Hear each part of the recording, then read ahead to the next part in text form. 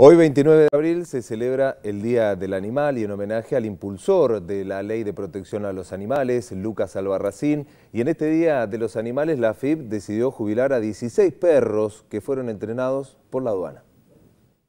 En el Día del Animal, la AFIP decidió homenajear a 16 perros que cumplían tareas en la aduana.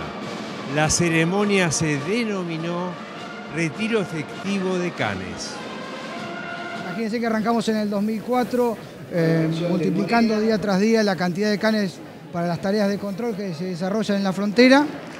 Y la verdad que estamos en el 2015 y los canes generalmente a los 9, 10 años ya no pueden tener los resultados operativos. Como verán, ya están en otra etapa, eh, tienen un merecido descanso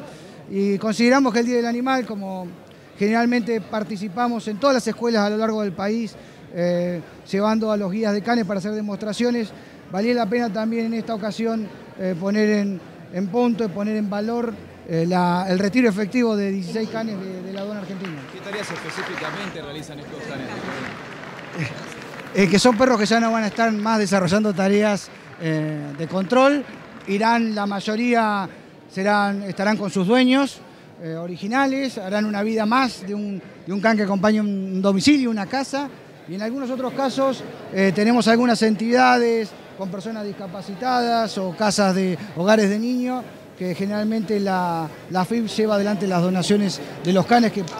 buscaron la actividad efectiva para ese tipo de tareas. Un requerimiento al HPC por 16 eh, cuentas aparentemente de dinero no declarado, esto en el procedimiento de lo que se está haciendo acerca de la investigación del lavado de.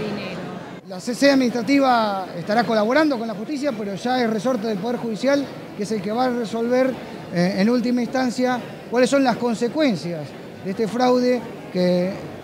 recordemos, en función de los antecedentes que hemos arrimado al juzgado, arrancó con el vaciamiento del Banco Mayo y el dinero que le sacaron a ahorristas argentinos y que después se lo terminaron llevando a través de distintos fondos como